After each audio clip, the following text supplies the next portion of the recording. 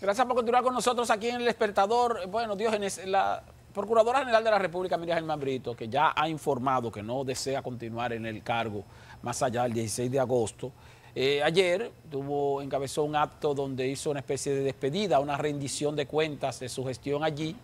Y no voy a decir que nos sorprendió, pero sí fue bastante eh, llamativo el hecho de que en sus palabras ella pareció dirigirse más a las situaciones eh, que padeció dentro de la institución que a expresar los logros que una institución como esa o desde una institución como esa se, puede, se pueden alcanzar. Entonces, eh, ella mencionó muchos asuntos que tienen que ver con eh, cosas incluso hasta personales repito, dentro de su función, cuando dice que sufrió descalificaciones internas o que se, eh, en ocasiones se tomaban algunas decisiones que no eran precisamente las que se habían consensuado con ellas, aunque otras sí se consensuaban.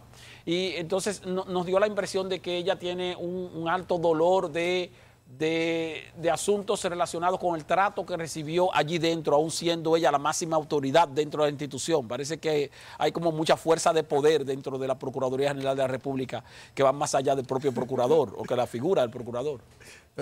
vamos a oír a la procuradora, Esteban, y amigos televidentes, antes de continuar con los comentarios. Eh, adelante, director. Ni gané ni perdí, solo me marcho tranquila feroces e irracionales ataques, donde está ausente cualquier huella de equilibrio y hasta de honestidad. Lo que no me pude puedo permitir es claudicar ante la presión de sectores que entienden que la justicia es un juego de intereses individuales y no una vocación sagrada. Celebramos el interés actual en una reforma constitucional que institucionalice la independencia del Ministerio Público. Es esencial que junto al reconocimiento de la autonomía que ya está prevista, se creen las garantías jurídicas necesarias que le hagan efectiva al margen de la voluntad política. ¿Sabe? Cuando, cuando ella utiliza la expresión, Esteban, ni gané ni perdí, solo me marcho tranquila. Sí, Y uno se detiene a oír el discurso que, que pronunció. Uno puede concluir, leer entre líneas de que realmente no fue así como lo encierra esta expresión.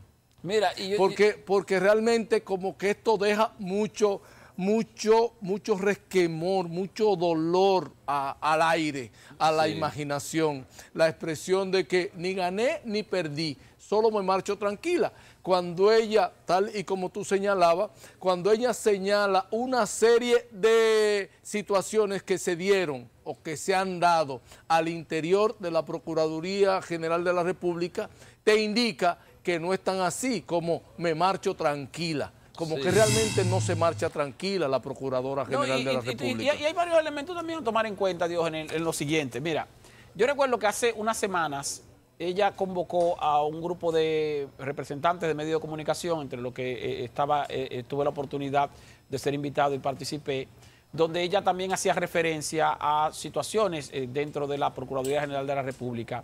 Y ahí recuerdo que ella dijo que eh, muchas veces ella se enteraba de asuntos que ella le molestaba, que lo que más ella le molestaba es cuando se enteraba de asuntos internos de la Procuraduría a través de los medios de comunicación. O sea, que habían cosas que ocurrían allá adentro que se publicaban y ella ni siquiera llegaba a enterarse. Y entonces uno se imagina también cuántos, de cuántos asuntos ella no se enteró porque ni siquiera salieron en los medios de comunicación.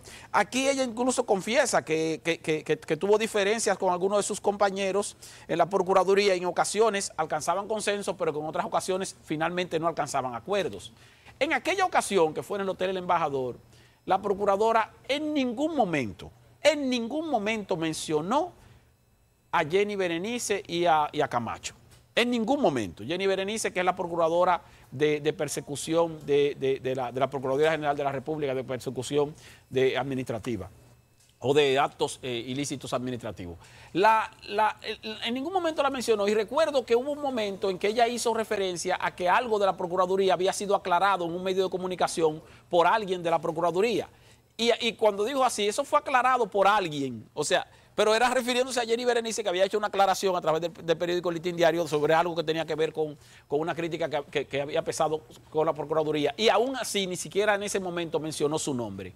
En este caso, en el discurso que ella pronuncia, fíjate que ella eh, habla de sus cuatro años de gestión y no hace referencia a que, a que el equipo o que dentro del equipo que ella ella no, que ella ha coordinado. no de equipo. No, no, no hablo de equipo. Y no hace referencia a que dentro de ese equipo pudiera estar, qué sé yo, eh, eh, quien la vaya a sustituir para que continúe la gestión. O sea, ella no hizo ningún tipo de referencia a la posibilidad de que se, sea designado alguien de ahí dentro para sustituirla. no pasó la antorcha. la antorcha, exactamente. Eh, así que se puede definir, no pasó la antorcha.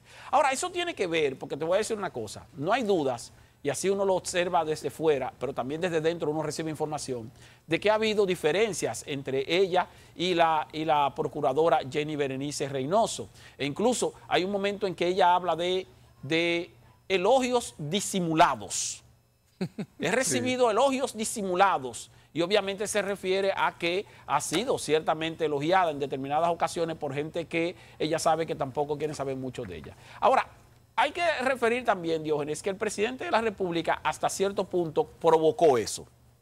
Hasta cierto punto. Con, la juramentación. Con la juramentación, sí. De dos figuras, se puede decir antagónicas. No, no, por naturaleza antagónicas. Pero no solo antagónicas, sino que se trata de dos figuras que no tenían el mismo rango. Entonces, ¿por qué el presidente? El presidente de la República tiene la facultad de designar seis, creo que seis procuradores adjuntos. Por, eso digo antagónicas. Entonces, sí, entonces, entonces él designa a la Procuradora General de la República eh, eh, en, agosto del 2020 y designa seis procuradores adjuntos, que eso es lo que le da la atribución, la ley eh, de que hay seis que lo designa la propia Procuraduría y hay seis que los designa el presidente de la República. Pero de los seis que él designó, además de la Procuradora, tomó a una y la puso al lado de la procuradora y la juramentó a las dos juntas como si fueran iguales. Que fue cuando él juramentó a Miriam Germán Brito y a Jenny Berenice. El, mismo 16 de agosto. El mismo 16 de agosto. O sea, entonces automáticamente él rompió ahí la jerarquía y le dio a Jenny Berenice un poder que posiblemente, eh, o no que posiblemente, que en términos jerárquicos no tiene. Entonces, oye, le dio la autorización, le, dio, le dio el aval al juramentarlas a las dos juntas. Incluso a, veces uno se pregunta, porque hay gente que está diciendo aquí, bueno, ¿quién va a sustituir a Miriam Germán Brito? Yo particularmente pienso que quien debe sustituirla a Jenny Berenice. Porque total, Jenny Berenice Reynoso es la que está dirigiendo la Procuraduría General de la República, porque las partes que dice la Procuradora General de la República que no pudo ella controlar ahí adentro, es porque la controlaba otra persona. Y tiene que ser, o tiene que haber sido, la poderosa Procuradora adjunta Jenny Berenice. es que sin duda los caminos te llevan ahí. Porque ¿quién ha llevado los grandes temas que ha encaminado la Procuraduría General de la República en este tramo 2020-2024?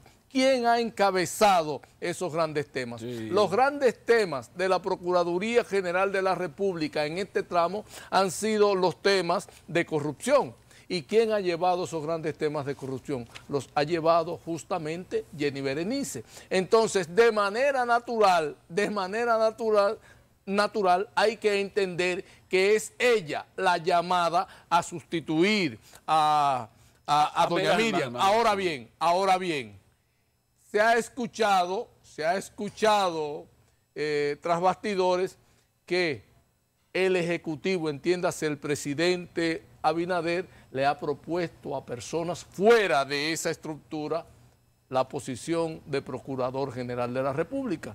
Entonces, esto como que lleva también otra interpretación del proceso, de que realmente el presidente quiere seguir con esa línea de gente eh, honorable, gente, eh, una persona honorable, una persona de prestancia y una persona que le dé ese aire ese aire que le quiere proyectar o que le ha, querido proyectar el presidente Abinader desde el primer momento de independencia al Ministerio Público. Pero claro está, se entiende, y yo lo entiendo así, que la mejor manera de darle ese aire de independencia al Ministerio Público es que pueda continuar una de esas figuras que ha llevado los grandes casos que ha manejado la Procuraduría General de la República en este tramo 2020-2024 y en ese caso Jenny Berenice es la piedra angular. Y no solo eso, ¿eh?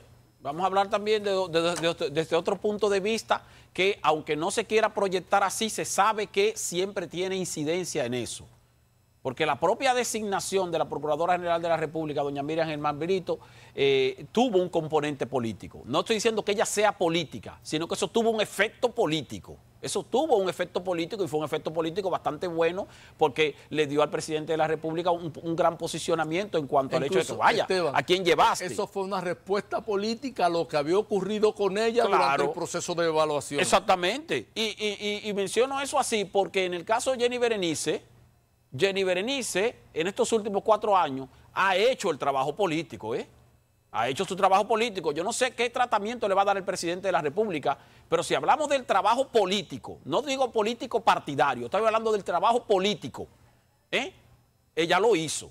Ahora, uno se pregunta a quién se refería la Procuradora General de la República antes de ir a una pausa cuando dice, lo que no me puedo permitir es claudicar ante la presión de sectores que entienden que la justicia es un juego de intereses individuales y no una vocación sagrada. Mis principios se imponen ante todo.